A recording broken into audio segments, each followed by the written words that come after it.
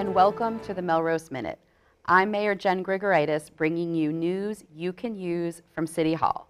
And I'm joined today by a, a returning guest, Superintendent John Macero. Welcome, Superintendent. Thank you. Glad to be here. Glad to have you back. So, wanted to catch folks up on a topic that's on many many folks' mind, which is the FY25 school budget. So, FY25 is next year, the school year that will start in September. Correct. September. Correct. So, since we last talked a few months ago, what has happened? So since we last talked, we talked about um, what we had requested in the needs-based budget, which ended up being about fifty million nine nine three eleven dollars and seventy-nine cents. Can't forget that. But since then, the reality has come through of what where we're at for Melrose um, and funding purposes. And right now, our budget is looking at with the total offsets accounts and what the city can contribute, it's about $47 million. So that's saying that we are $4.2 million in a deficit of Okay. what we would currently have had, of what our projected needs were. So that puts us in a very difficult situation as we move towards next year. Okay, so yeah, obviously there's a there's a big gap there. 4.2 million dollars, not money that you and I both know we can make up with state No. aid or a grant. Um, you know, when you live in a residential community like we do, we're really bound by Proposition two and a half, which limits our new um, tax increase to two and a half percent a year, which doesn't always meet um, the percentage of growth of our needs. So. Can you talk a little bit about, the school committee has passed a budget for next year based Yes. on the known amount of money we have available for the schools. Can you talk about what that's going to look like for the schools next year, that, the budget that was passed? Sure. So originally, when we, when we realized those were the numbers, we went back and we took a look at what positions would we be able to continue on with, what positions would we not be able to have. And if you recall, one of the things that I did talk about was that the middle school was needed to be right-sized. So regardless of where we were at, the priorities have been for next year's school budget, we need to fix the middle school. We needed to create a uh, program for our uh, special education program uh, for students so that we could keep in district. And then we were looking at how could we put more special education teachers in because we knew that that was something that was also a priority. If you do that, though, that worked with the needs-based budget, but once now that those reductions came in, we still needed to do that, but now that was mean we were going to be, there was going to be implications all around. So what has happened for those implications is after all of that, and we went through and started to reduce this position or reduce those various posi- positions, our first initial crack at it, we had 58.6 positions that were going, removed from that budget. Now, out of that 58.6 positions, only about, there was about 25, 27 positions that were new positions that we were creating. If you recall, at the middle school, we, we were creating over 15 positions. So by putting those 15 positions in, though, it has decreased me to have to take positions from other areas.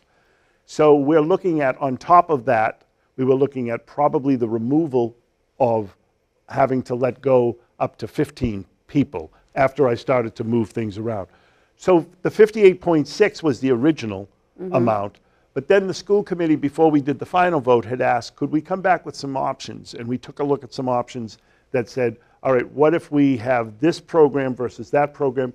Do we, our kindergarten numbers were a little lower this year for registration, so do we reduce one of those classes, and what does those class sizes look like?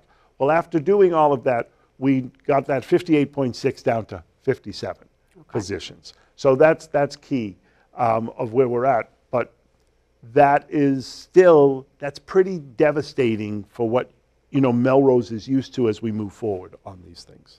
So right now, working in the funding that we have uh, for next year, we're looking at district-wide a loss of about how many um, staff across our school buildings? So right now, we're looking at about anywhere between 15 to 17 positions. Fewer staff. Okay, Yeah. so that absolutely, and what kind of impact will that have? Well, it'll have a big impact because what that impact will be is at the elementary levels, we're going to be eliminating some sections per grades at some of the schools. I do know that Winthrop is affected by that, uh, Lincoln, uh, Roosevelt, uh, Hoover School. Those schools, um, not Roosevelt, I'm sorry, um, but Hoover, Lincoln, and Winthrop have less sections in per certain grades, so that means that those class sizes are going to be larger. They could be anywhere between 26 to 27. Um, the other impact that you're going to see is you're going to also lose out on some of those support systems that we're trying to build in for our, our students because it's so needed.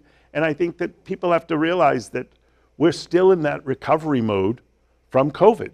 And I think that that's important. And I know a lot of people tend to think that, oh, well, COVID's over. It is, but these students, the, the effects of what they've had to go through through their education is much different than what you and I have mm-hmm. gone through. And so therefore, that's something that we have to really understand. And so when you start to increase those class sizes and you start to take those services away, there's going to be some issues. Okay. And what will it look like at the secondary campus? So we've talked about, obviously, the identified needs at the middle school, which is going to be a building next year with over 900 students That's correct. in it. So absolutely a need for resources. What do we see, how do we think this is going to impact the high school? So the high school is going to be impacted because what's going to happen there is we had to make some reductions there. So, so the, um, you're looking at one less section in history. You're looking at a less section in math that was projected that we wanted. You're looking at some special education positions that may not, uh, they will not be um, funded. So what happens there is that those class sizes are going to increase, and there are um, lots of particular, you know, issues because high school students are now starting to really take a look at where they're moving and what the, the ideas of what they want that are going to help them to go to college.